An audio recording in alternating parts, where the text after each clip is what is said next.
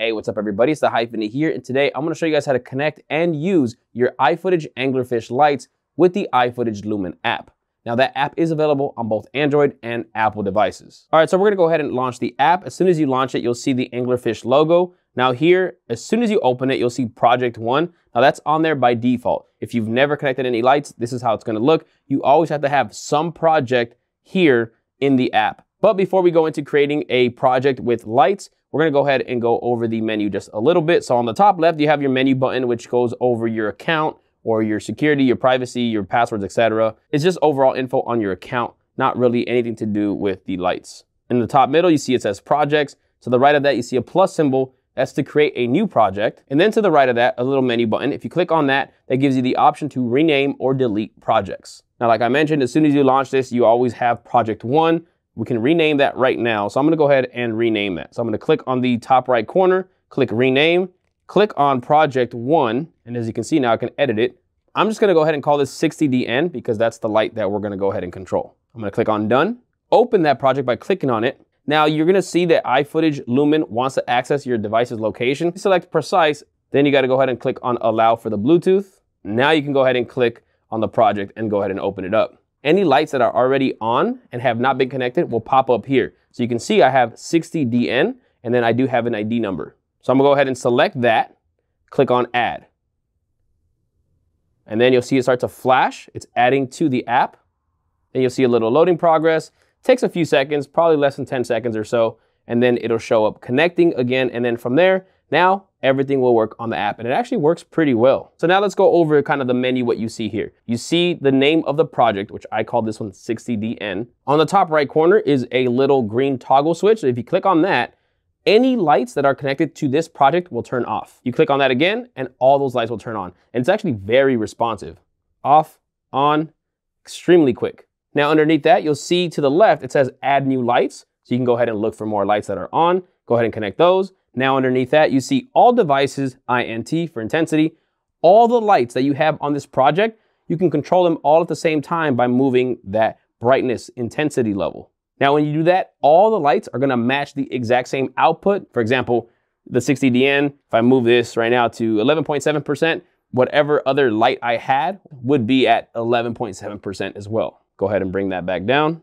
Now, you could obviously move the slider to change the percentage, or you can manually choose the percentage by typing it in. If you click on that little black rectangle that has the percentage, go ahead and click on that. You can actually type in whatever you want. So right now it's at 0%. Let's just go to 11, press done, and the light's gonna go straight to that. Now, if you wanna have a percentage that's less than one, say for example, 0.1, you actually have to type in 0.1, then press done, and then it'll do it. If you just press 0.1%, it's not gonna do it. I love that I could easily just type that in extremely quick without having to try to move the slider slowly and get the right spot. Now again, that applies to all devices. Underneath all devices, you'll see each fixture that you have connected. So if I had the 60DN, if I had the 220, and even let's say the small C4, they would all show up here in a list. Here you see the 60DN, so I'm gonna click on that. And this allows you to now go ahead and control this individual light. Right now it's at 0.1% power. I'm gonna go ahead and bring that up, bring that down. Again, extremely responsive, very fast. INT is for intensity. That's the brightness value. If you click on the effect option, then you have all the effects here that you can choose from. Go ahead and start working with those. So if we go to lightning, then you see we have intensity, speed, frequency, etc. Click on done. Now, if you go to music, you have to allow the phone to use the audio. So while using the app, go ahead and select that. And then you see actually like a frequency spectrum on the bottom. There is a very slight delay, as you can see. So this doesn't really work all that great. There's not much you can do. The only way to really have it go to music is if you have like a DMX controller or something that actually has a physical cable anytime you're using an app to run a sound-based response, it's always gonna have a slight delay. So we're gonna go back to intensity. Now, another thing that I wanna mention on the fixtures that you can control specifically with the COB lights, not the C4 lights, but the COB like the 60DN, 220DN, and 320DN, is that you can also change the dimming curve. The dimming curve allows you to be able to change how responsive and how much it ramps up when you're actually changing the intensity. So if you're actually having these be used for a shoot and you want to have someone controlling a light getting brighter or darker while it's in a shoot, you can choose that dimming curve. It's really great that you're able to do it here in the app. Now, real quick, before going into the 60DN option, I actually put a C4 light back here, which is this tiny little one right there. And we're gonna go ahead and add that light to this project. So we're gonna go ahead and add new lights on the top left. Now it's gonna scan and it should find it probably within a few seconds. And there it is, it shows up C4 and it has an ID number. So I'm gonna go ahead and click on that, click on add.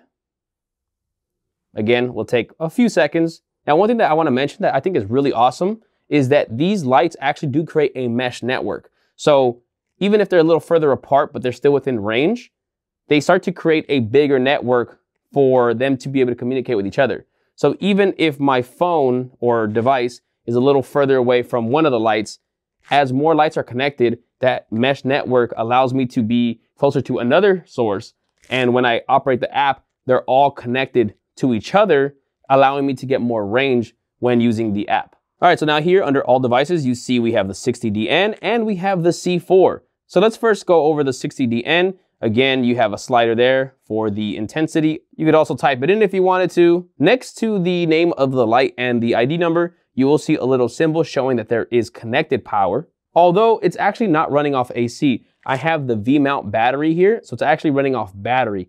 But for these lights, it doesn't signify whether you're running off battery or AC. For some reason right now, it's always gonna show the AC symbol. Maybe that'll be updated soon via firmware updates. Next to that is a little settings gear. If you click on that, you can see the actual firmware that is currently active on this light.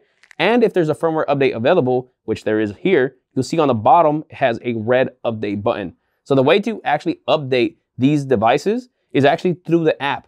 Unlike many other lights that have to be updated through a USB port, this is awesome because you just need the app. Aside from that, at the top, you also see name. This allows you to rename the devices. So for example, if you have multiple 60DNs or multiple C4s, you can name each light so that way when you're setting them up and you have, say, a tag on one of the lights, you know which light is connected to the app.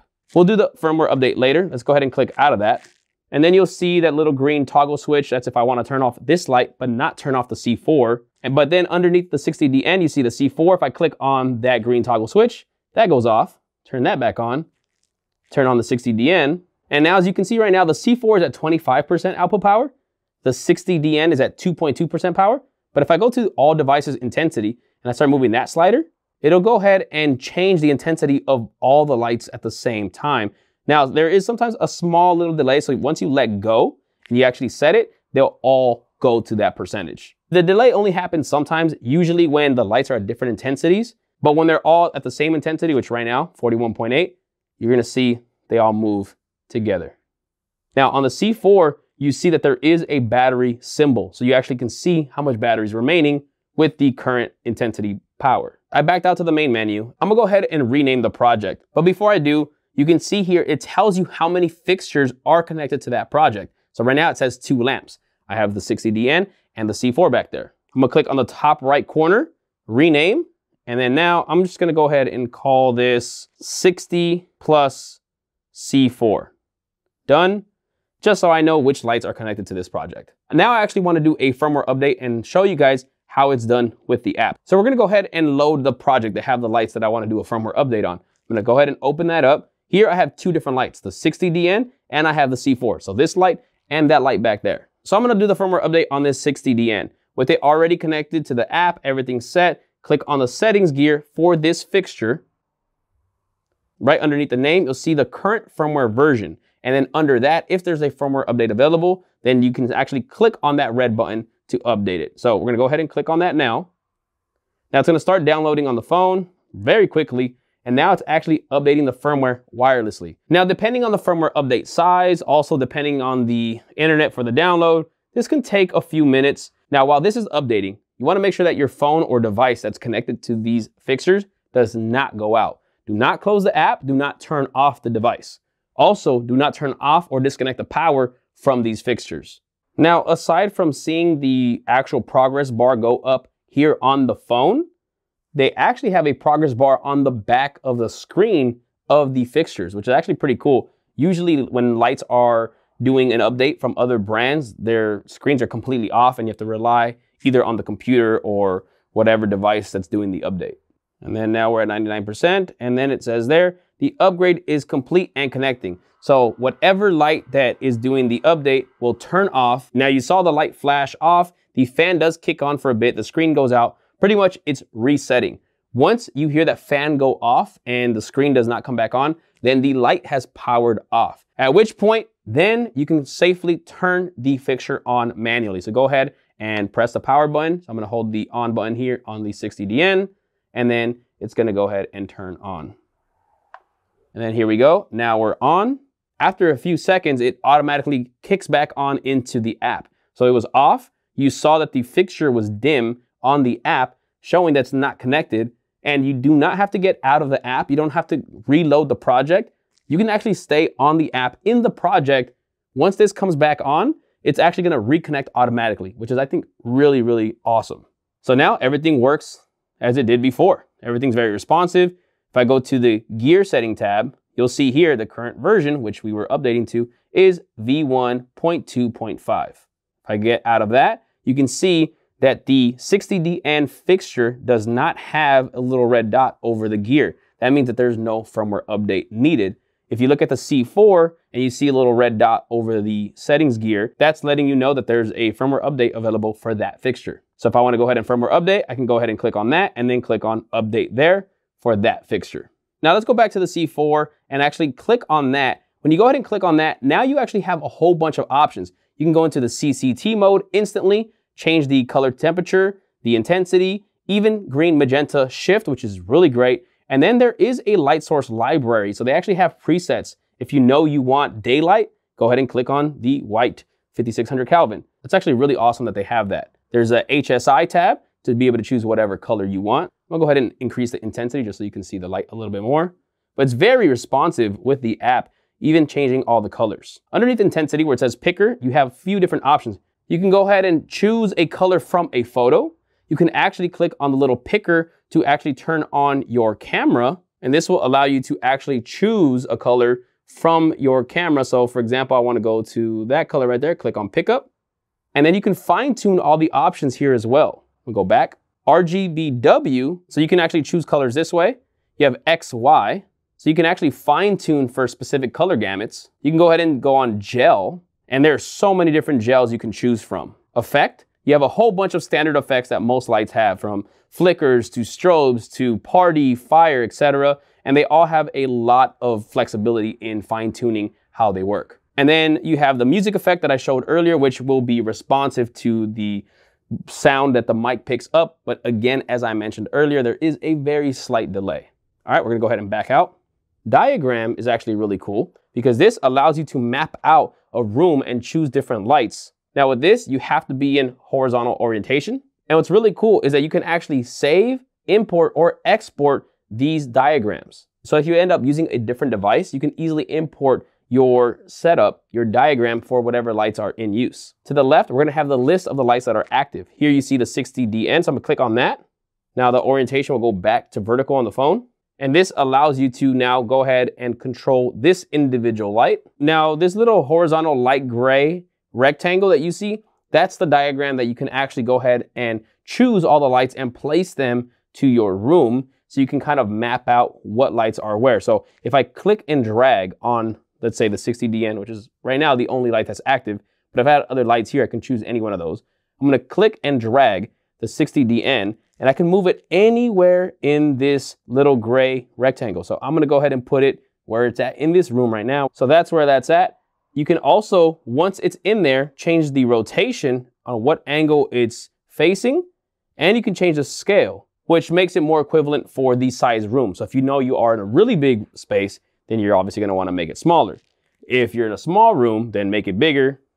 Pretty much just go by your eye. It's not scientific. It's not super scientific with exact measurements, but it's just a general diagram you can have, which is going to be really cool for someone, say a gaffer or anyone that you're really working with to be able to see the layout and control the lights.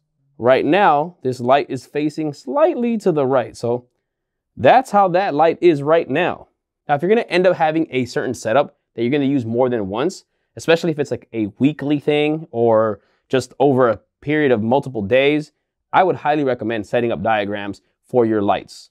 I'm not because this is not gonna be a consistent layout for me. So I'm just gonna go ahead and click the trash can button. And then it's gonna say, do you wish to delete the current target? Click delete. Now that's just for the light.